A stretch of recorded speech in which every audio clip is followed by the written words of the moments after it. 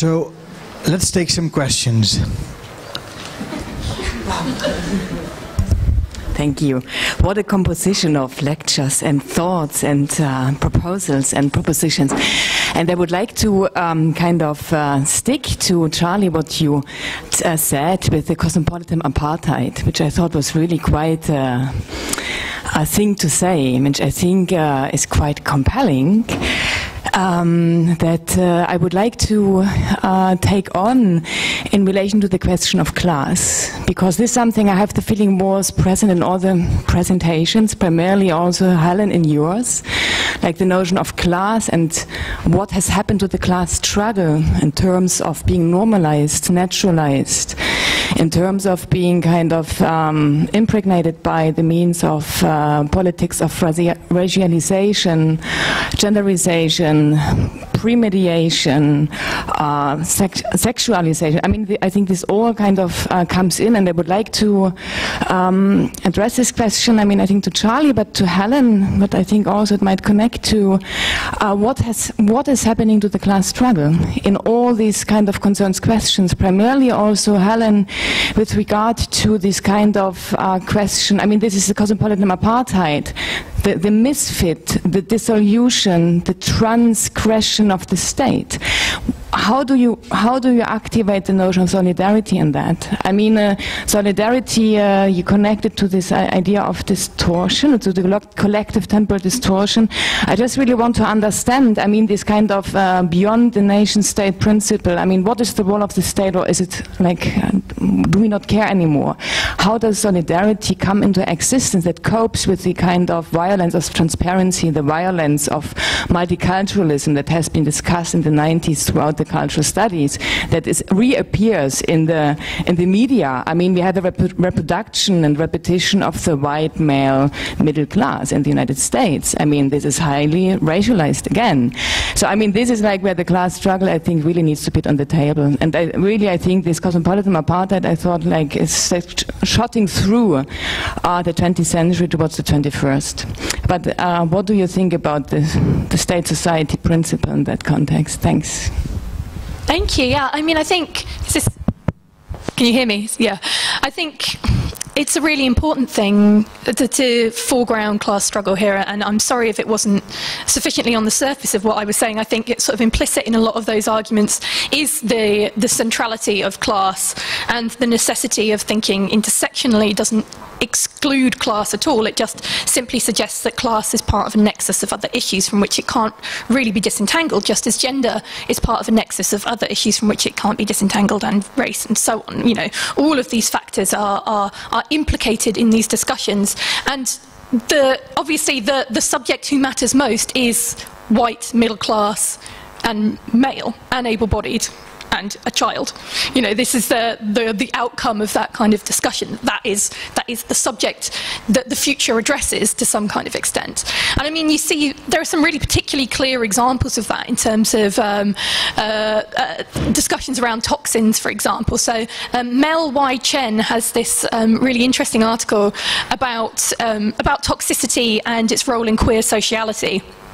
And one of the things that, um, that they pull up is this idea of um, toxic toys that circulated around sort of, uh, I think it's about sort of 2010, maybe slightly before, where there's this sudden real um, panic in the US about toys being imported to China that were um, uh, painted with sort of um, toxic lead paint, essentially. So the Chinese were going to be poisoning all of our children, was the kind of the suggestion. And this was this was heavily, heavily obviously racialized in terms of the way ideas of contamination were circulating. It was heavily um, both classed and racialized in the fact that those anxieties and those, um, that worry about the circulation of toxin was not extended to the workers who produced those toys, like primarily female workers in Chinese factories who are obviously dealing with these, um, these pollutants, these contaminants, uh, a lot more frequently. So the, that circle of concern was not extended to those subjects. And then also the fact that um, in some of the sort of the reports, because it was sort of classy toys that turned out to be poisonous. It was a lot of expensive Thomas the Tank Engine, uh, sort of like luxury middle class products that were supposed to be toxic. They were set off against what was assumed already to be a toxic kind of toy. So the, the free stuff that you get from McDonald's or the toy that you get in your Kinder Egg, all that sort of cheap and nasty stuff that poor people are supposed to play with, we already assume that that's toxic. And so there was a surprise mainly that these sort of these toys that were accessed by the middle class were shown to be painted by, in this way and so and so forth. So that was a really interesting example, I think, of all of those those things, how class and race and gender, because obviously Thomas the Tank Engine is a very masculinized kind of toy as well, all circulating around ideas of the toxic. So I think class is definitely a part of it. It's, I mean, it's fundamental to, to my politics. And so were you thinking that it, in terms of what I presented, it wasn't sufficiently brought to the surface, or just you wanted an explicit comment? The reason I address the question of solidarity to you, I mean, mm. kind of, I mean, combined with Charlie's argument of cosmopolitan apartheid, because solidarity is so much attached to uh, a kind of a certain kind of movement that is localized, that takes place um, among like people of workers, uh, of trying to find, uh, I mean, um, uh, um, uh, kind of supporters or to align oneself in order to create a stronger argument. I mean, that's the question, the, the, question towards solidarity and towards class. I think to, um, for Charlie. Well, I think I think um, in I think basically what I was hoping would one of the points of my um, talk would be that basically what's happened is that class struggle has been culturalized. So actually what is inequalities is so like economic in inequalities are being turned into cultural differences. I, um, and I think you're right, somehow solidarity is, is being created um, through cultural lines and identities rather than kind of economic lines. So I, I read this really interesting um, case study of Mexican laborers who were fighting for, um, for um, like even um, for pay and for better pay. But no one was interested in their struggle at all because it was just this tired, same old problem of um, class difference and and and what. But then they um, basically changed their argument and they made it an um, issue of um, culture. And as, and so they started to say that actually it was an inequality that was aimed at the native population. And um, and then their uh, movement gained a huge amount of traction. So the idea is that no one is interested in class struggle anymore. We've come to the kind of, we have got class fatigue. And actually that, um, but we're interested in, in cultural struggles, in cultural issues, in cultural conflicts. And this example of the Mexican movement was the perfect, perfect example of how as soon as they culturalized, it became um, a, an issue, it, be, it, became visible. But I also think, even I think your discussion of these um, TV programs, of whether whether are they the ones that are making things acceptable. I mean, I, I, I, I hate The Wire, for example, mm. because The Wire so much is about this culture of violence in the black community. So the culture and the community are all the things that are kind of masking or hiding the fact that ultimately there's a massive like um, economic issues um, that so somehow the the effect of the history of slavery has kind of been pushed into a, a cultural thing and an attitude rather than um, the economic, the problems of economic realities. I think The Wire, you can also read The Wire as a big story about the crisis of masculinity in all layers of American society that as a side sideline. In terms of class struggle, um, there's a there's a science fiction film and the title doesn't come to my mind. Maybe somebody in the audience recognizes it in which the ruling class takes off into space and leaves the working Elysium. class on what Elysium. probably that yes yeah. yes exactly exactly so there's a way in which a particular genre can represent the class struggle because it's not real like in science fiction. So that, that's one answer to it. The other one is that it really depends on your national cinema. So the representation of class struggle in British cinema is, of course, has a very long and very beautiful history and very potent history as well. And then another point on the point of cosmopolitan apartheid, I think that's a really, really wonderful term. And it also reminds me of the way we're looking back at Dutch pillarization in the 1950s, in which, which um, and, and that also was the root of South African apartheid in a way, in which the the pillars, the Roman Catholics, the Protestants, the Social Democrats, and the general pillar, society was organized vertically, and these groups wouldn't talk to each other. And everybody would sort of, the, the elites, they talked to, rule, to sort of manage the country, but at the level of ordinary people, there was no contact. So I met my first Roman Catholic when I was 18. Right? And before that, we just didn't meet these people. I came from the red pillar, as we called it, and uh, uh, and so uh, I I went to a, a, social democrat school. I went to a social democrat sports club.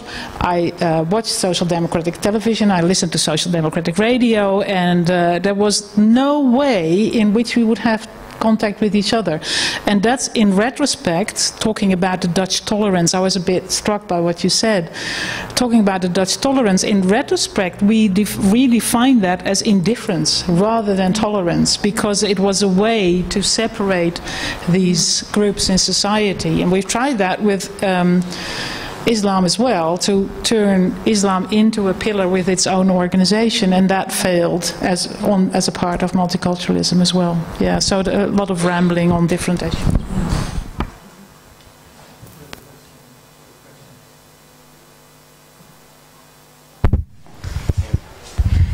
Um, it might also be rambling, but um, following up on your question, and to whomever feels uh, uh, uh, welcome to answer. I'm just wondering in how far you feel that uh, politics, or like the body of politics, the political institutions, have played a part in deflecting, perhaps, um, the class struggle to a cultural struggle. Charlie seems to have uh, located it also in a consumerist uh, fashion, um, because on one hand, it but I, this almost feels like putting out a conspiracy theory, but that. Um, uh, a class struggle seems something which you can at least strive to resolve. But as also taking from Charlie's talk, if you want to resolve cultural differences, should it all be alike? Do we, you know, want to strive for a heterocultural society in which things are different from each other but still equal? That's almost, it's almost like a um, impossible uh, puzzle. So it could also be kind of tool, this feels like a conspiracy theory, to deflect the class struggle to a cultural struggle, which is in itself maybe irresolvable, in order not to have to deal with the class struggle situations. And so what part you feel politics uh, have played in that?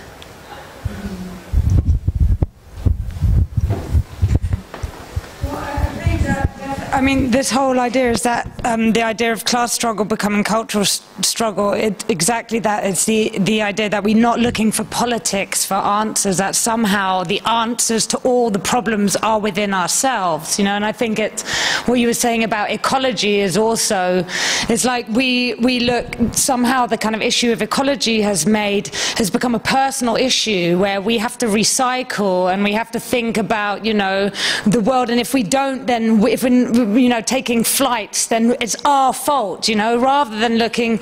So it kind of, that sort of personal responsibility leads directly to guilt. And guilt kind of stops you from looking at what are the, what's the political structure that actually needs to change in order for improvements to be made. So to a certain extent, it's a kind of this, like, make individual responsibility. And, um, and so, um, I think it's definitely true that to a certain extent politics allows us to kind of fight out these battles and it kind of it sells us guilt and you see that consumer culture sells us this guilt and it gives us also the answers with kind of um, ecological, ecologically sound inventions and ideas. Um, and then all these kind of real political decisions real, are, are, are taken in secret and are kind of hidden and, and, and we, we know less about about how they really work. Mm. What would you say? Yeah, I mean, I think this issue of individualization is an interesting one. I mean, um, I've heard it described in relation to um, sort of ecological activism as there's a kind of moral injury that takes place around anxieties about uh, climate change because we're being told all the time that it's down to us and ultimately we, we know on some level that you know we've been consuming the eco produce we've been doing this we've been doing, that. We know that it's not about us we know it's a systemic thing. And that plays into some of the things you were talking about in your presentation as well around um, around the, the gendered body. So this idea about um, about the veil and that being something a, a, feminist gesture which of course it can be um, of course, we need to think beyond that individualized level of who's wearing what and think about the, the systems in which that takes place. So, in what context is that a transgressive gesture or, an assertion of um, agency and autonomy? And in what context is it something that's coerced? Obviously, it's not always one or always the other. There's a kind of, there are various dynamics at play. And it's the same with the sexualized female body. Like, that's not always a gesture of agency and empowerment.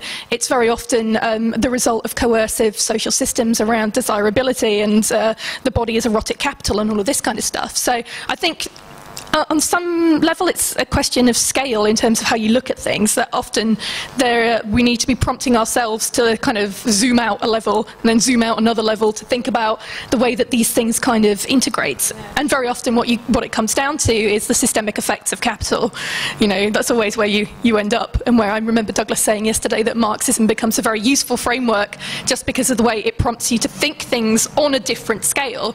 You know, so I think it's always always worth going back to it. Um, I, I I was just talking to Shimon about um, the um, when I used to watch uh, read Adbusters, you know, and how how Adbusters was such a good magazine, and it was so, but it was really like when we were still outwardly political. And I was saying how Adbusters has now been replaced by The Daily Show. And that's not, that's not really being political anymore. That's just sort of being cynical about politics or kind of laughing. It encourages it. So Adbusters, this incredibly sincere discussion of politics kind of turned into this ironic laughing at politics.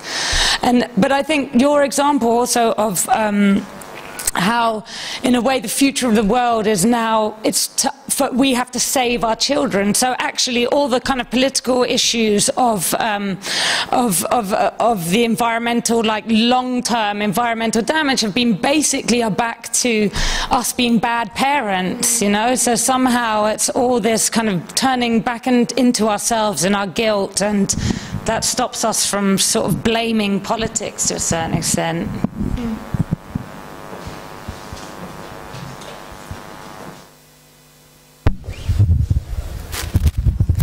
Um, I wanted to um, ask Helen uh, whether you were aware of the concept um, that was, I think, um, lately described in the Harvard Design Magazine. Uh, in um, I think the title is called "Family," and um, the essay, which I, I, cannot remember the name, it really doesn't matter because the argument basically is in that essay that we will always force to be these sort of nuclear families by the economy or the nation state because the nation state is very much interested in having us as nuclear families, not because, because the queer family is the threat as such, uh, but the queer couple, so or the single. And that is due to the fact that uh, a nuclear family is more interesting because of the service or the exchange of services, which then generates money, so the flow of money, or another um, concept which is not so interesting as well is the extended family, because also the extended family exchanges services, but there is no cash flowing. Um, and I was wondering how do we connect these sort of notions then with um, what you were saying also, how can we think of a feminist future beyond the family? Yeah, I mean, I'm very invested in destroying the family. You know, I'm strongly, strongly pro the destruction of the family. And um, Richard, uh, it's you know, it's largely, yeah, it's largely unsayable because the family is seen to be everything that's good. And to, you know, when we talk about sort of queer queer families and queer familiality, like that becomes, you know, it's borrowing the same concept of, of the family, which I think is kind of, it's been sort of this.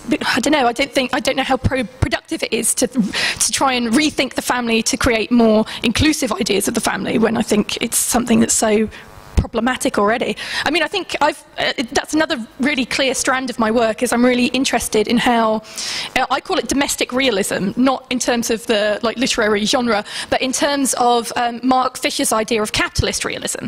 So capitalist realism is what tells us that there is no alternative. There is only capitalism. There's nothing outside of capitalism, and it relates back to the, the Jameson quote um, taken up by Zizek, this, that it's easier to imagine apocalypse than it is the, the end of capitalism. So we can, uh, you know, it's much easier to imagine the end of the world than the end of the system in which we currently circulate. And that, I think, also extends to the domestic sphere. So, and the way that we organise the household on a physical level and the way that we organise the household on a social level. I think even within a lot of feminist writing, that's now fallen by the wayside. This idea that we would try and rethink what it means to be a family, that we would rethink the way that we try and live, even though we sort of know that the family, as we understand it, is a historical construct that had to be actively built from the ground up. That suburbia had to be had to be constructed as a way of undermining workers' solidarity to a larger large extent. You know, it's a way of atomizing groups and getting them out of the city into a place where they have to commute to and from, and it encourages certain modes of being with each other and modes of being a family, and it privileges certain connections between people. So it privileges that between the heterosexual couple and their children in a very sort of uh, protective kind of isolated way and undermines all of those different forms of family which can happen outside of the genetic line. So I think they're very I think in refusing this idea of the future as being for our children, part of it is pointing to how can we make kin, that, that Haraway slogan, make kin, not babies. Crucial part of making kin is rethinking what the family is. And, you know, it's a really unpopular idea because people just think, you know, 70s communes and, you know, that it'll all be awful. But I still have sufficient ambition, uh, feminist ambition, that we can rethink the home, that it can be transformed. And there are so many interesting lost futures in terms of what the home could be, and feminist projects to reimagine the home that fell by the wayside, that I think it's really productive to look back to that little aperture of freedom where people were thinking it could be different than it is now and it could be better. And the, the workloads of social reproduction could be distributed in a way that don't unnecessarily burden women you know, and then that creates, I don't know, it's so linked to rethinking kind of queer play and queer sociality, because once you remove that sort of, that strut of the family, a lot of other things start to loosen up as well. So, yeah, no, I'm, I'm with you. I agree, these are important things and very closely connected to what I'm trying to think through with this idea of, uh, of no future as it applies to eco-activism. Liesbet, you had something to add or? Last question. Thank you. Um, I am absolutely supportive of the idea that we shouldn't mistake class struggle with cultural struggle, and I think class struggle is a political issue that we should deal with.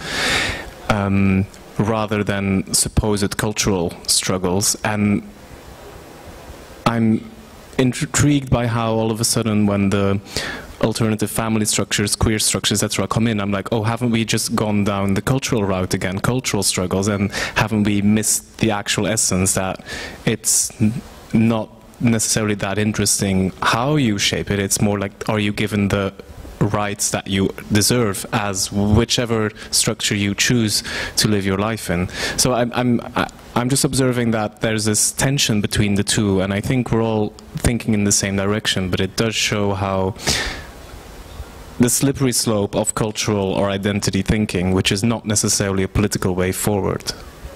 Uh, thank you. I mean, I think, yeah, it's really important not to I, I, yeah, I think these need to be disentangled because the, the family is absolutely crucial to class struggle. It's, it always has been. To separate the family out from class struggle is to ignore the reproductive labour that has historically been done by women that has been so necessary for capital. Like the way capital works is by exploiting two workers with one wage historically. You know, the, the home is a site of political anti-capitalist struggle. It has to be. The whole network has been built around it. So if you look at something like the way poverty is defined in the States right now, it's still, still defined in the United States on the basis of uh, a, a family which has a stay-at-home mother who has these, these abilities to produce food and, uh, you know, and reduce economic costs within the household and so on. I think is, is to introduce a false dichotomy to assume that there is the sphere of class struggle and the sphere of familial and gender struggles. The risk is that it falls into a classic Marxist trap of saying, oh, you're splitting the movement. You're splitting the movement. If, you, if you're trying to talk about, about gender, then you're, you're splitting the movement. It's really about class. It isn't about one thing or the other. The crucial thing is to insert the class politics into the cultural struggle, not to ignore the cultural struggle. It's, these are, uh, it's part of an integrated thing, and it has to be said again and again and again because too often the things that get cast aside as being not important in terms of anti-capitalist struggle are, are crucial to it. And, you know, so and it's the way that capitalism has worked has been to split the working class, split women workers from male workers, to pit them against each other. You know, if you look at the history of trade unions in the UK, you see again and again and again that by pitting a male worker against a female worker, you can drive down the wage unilaterally. So there has to be, you know, autonomous struggles within these groups, but they have to be part of a wider direction. And I think what you say about there being this sort of wider direction within the politics, that's the crucial thing to focus on. And we have to insist upon the fact that these struggles are, or, or can be and should be anti-capitalist. When, when you say that you have to or when, when you say you have to integrate the class struggle into the cultural struggle, you're posing a, prime, a, a primary state of the cultural struggle right? Or am I am I no? Am I I'm talking about I'm talking about integration between different things. I mean, I think I think if it comes down to it, for me, the class struggle is is the one of because it is so systemic. I think it is the overarching framework for mm. a lot of what we do. Mm. But what I'm saying is that they can't be disentangled because when we talk about gender and race and ability, a lot of the time we're talking about class already. It's just that it's people seem to think because it's being, I'm not saying it, it always happens, because things, these things can be de-emphasized, as Charlie so accurately points out. You can find that, that class drops off the radar a bit, but it, it's in there. I think mm. as a collective political struggle, it has to be about this intersectional space, and class is very often an overarching structure in which these intersectional battles play out, you know. So, but it never, it's not healthy to, to focus on to say that these discussions don't matter because they're not directly relevant to class. Often they are relevant to class, and it's the way that we're talking about them that is problematic. It, does that make sense? It, it, it does, yes, but I wonder yeah, I think I think I'm, I'm, i mean, and this is something that you point out, which is something that I've been interested in for a, a, a, while as well, is this ethics of indifference, which also what you pointed out, this Dutch dream of the indifferent, you know, everyone living next to each other, which of course is also a very Protestant idea. Like, you know, I close my door behind me and I'm free, and I go on the street, and you know, hello, hello, you do, what you do, I do what I do, um, and I wonder how we can ever return to that dream. But I'm not from the Netherlands, so I don't know if that actually ever existed, that dream of the perfect, indifferent, happy society in that sense. Um,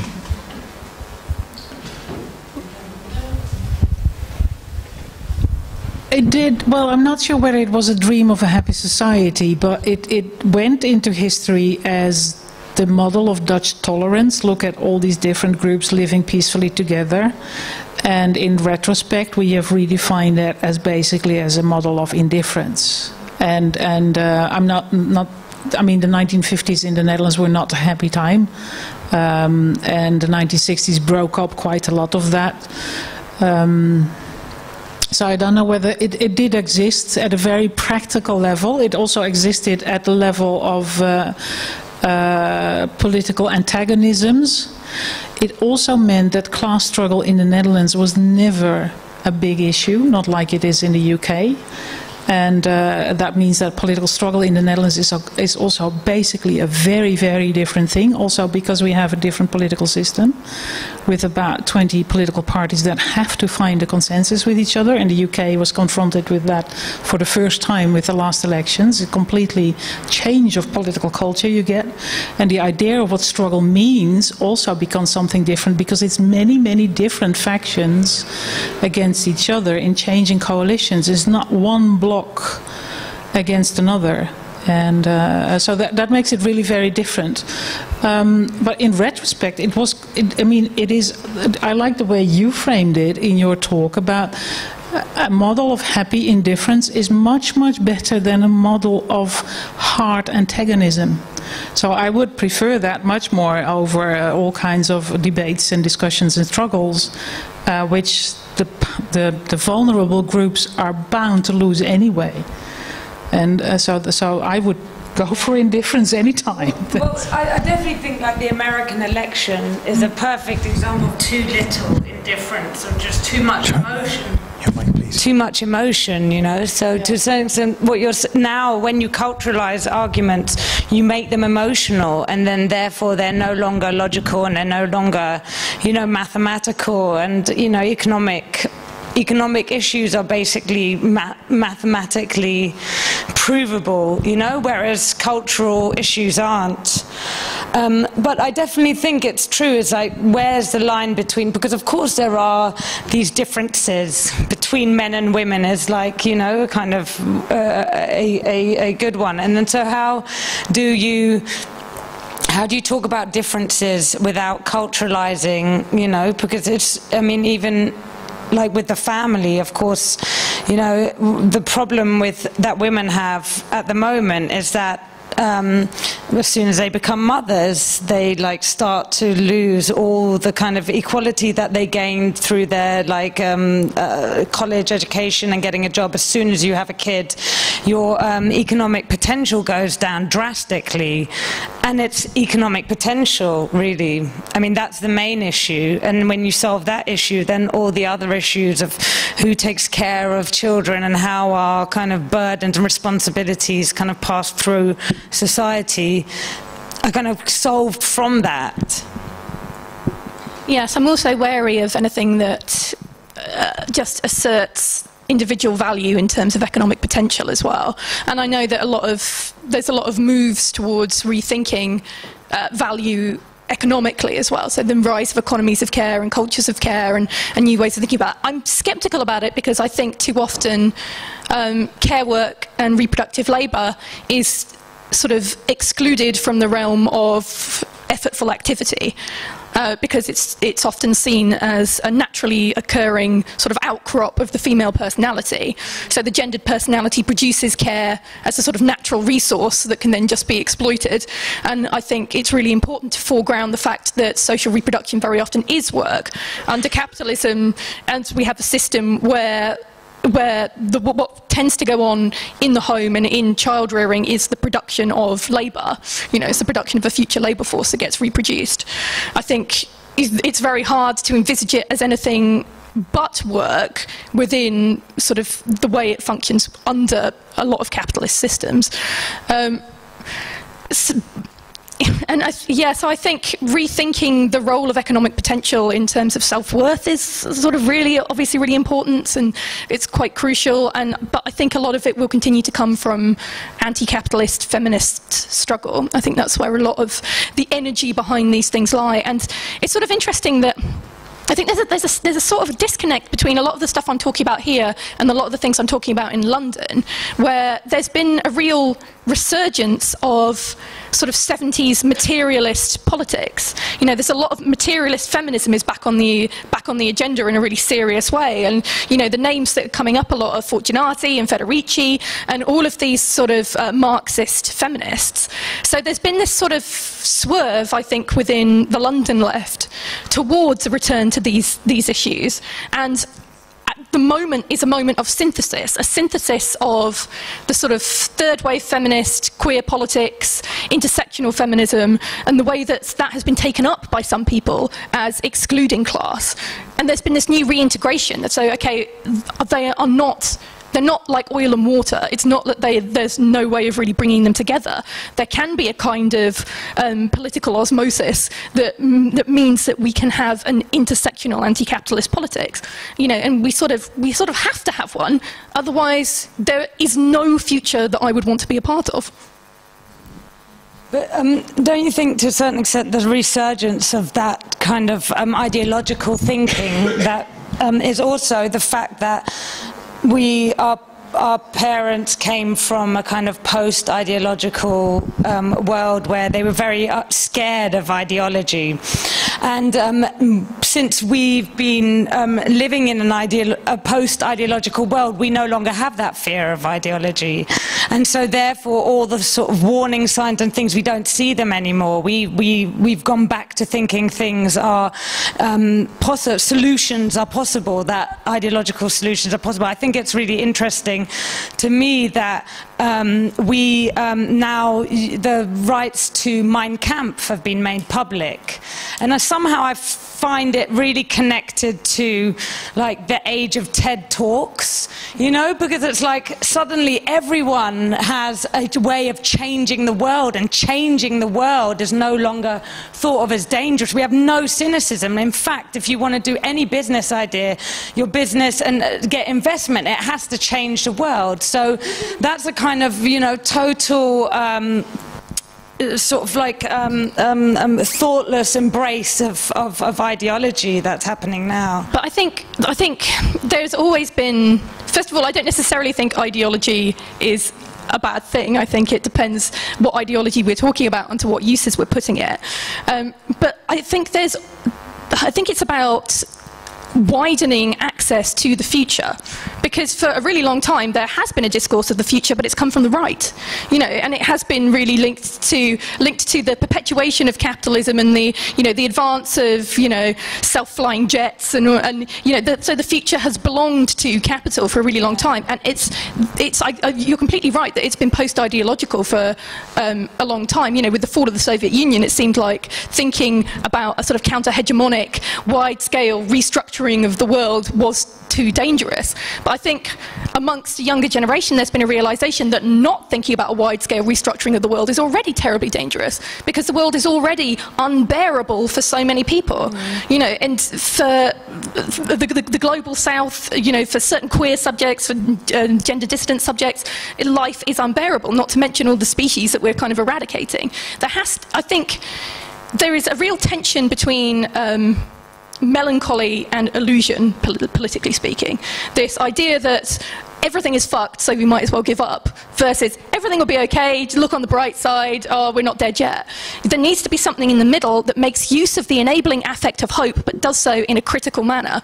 And that is the project that I think uh, we have to start building. Like, you know, I, I, and you're, you're right that it's risky, and we've, and we've seen from previous generations that it's risky, and probably there'll be somebody sitting here in 50 years' time talking about, you know, what crazy screw-ups we were. But, like, I think we, I think it's a bigger risk to pretend to risk nothing and just stay in a state of stasis. I think that we have to start mobilizing those enabling affects of hope and trying to reclaim a future that is more emancipatory than the one that has passed. I think it's an ethical responsibility. Ladies and gentlemen, Liesbet van Zoonen, Charlie Koolhaas, and Helen Hester. Big applause. Really, really great conversation. Thank you so much, so much. Well, with this, we conclude our two-day Futurosity Summit. Thank you all for your attention. Thank you, Douglas Coupland, for the inspiration. Thank you to all of the Kunstblock colleagues for co-programming. And let's have a drink outside. See you soon.